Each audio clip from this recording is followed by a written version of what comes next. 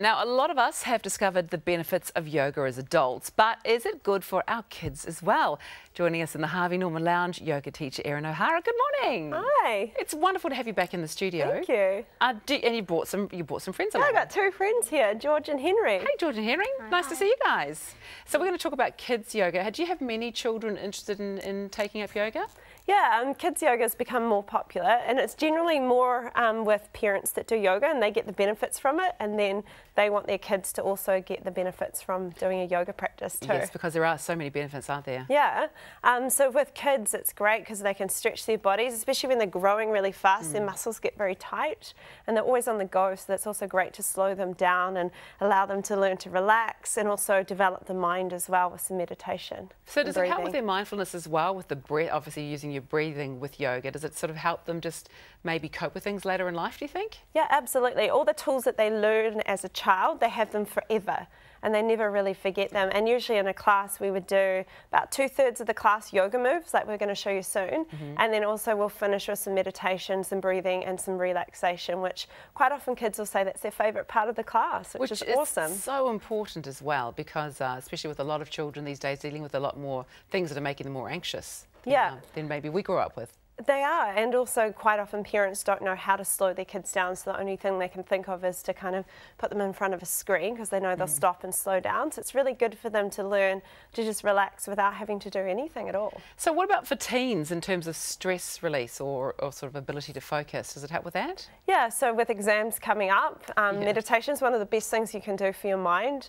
Um, and with trying to remember things, when as soon as you get stressed, you can't remember anything at all, No, you which is can't. not very helpful for an exam. So anything you can learn to really calm your body down, calm your nervous system with breathing, meditation, relaxation tools can be really helpful. That then they've got tools to take into an exam Mm. and to allow them to stay relaxed, and then they can remember a lot more. Now I think we should work through some of the things that the uh, the first moves that you teach kids as well. George and Yeah. Henry, you ready to do some work? Yeah, we're gonna, Excellent. We're going to do a yoga hokey pokey today, which is like a sun salutations. And whenever we do kids yoga, we like to make it fun, so it's not too boring, not too serious. I'd like you to Um, bring that yoga hokey pokey into into great yoga too. Thank you very much. It sounds good. And then we're going to finish with a little meditation. So we're just Okay. going to show you once, and then you can do things at home. So we're going to come forward.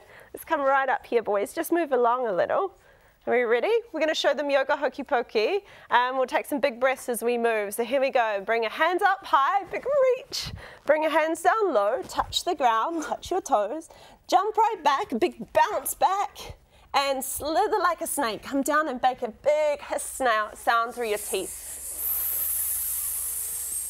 Bring your tails up high, downward dog, bottoms go high, stretch through your spine, and we'll start all over again. Big bounce forward between your hands, reach up, stretch up, and then hands back into our heart center.